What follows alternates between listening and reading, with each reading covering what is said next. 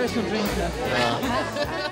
I do know you're not meant to mix drinks, but I can't resist offering everyone my special new Christmas cocktail, a Venetian.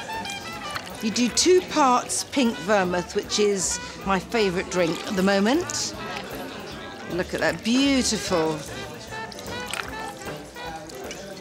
And then one part pomegranate juice, followed by one part ginger ale. Beautiful. Of course, pouring the drinks is one thing. I've got to stagger around with a tray in my party shoes. And now, spritz of ginger fizz. That's my Venetian touch, really, because it was the centre of the spice trade.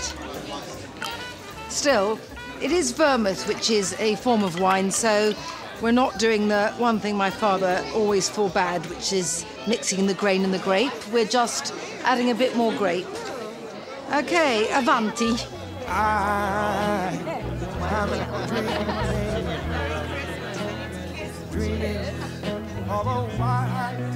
It's a Venetian, pink vermouth, pomegranate, and ginger. Oh.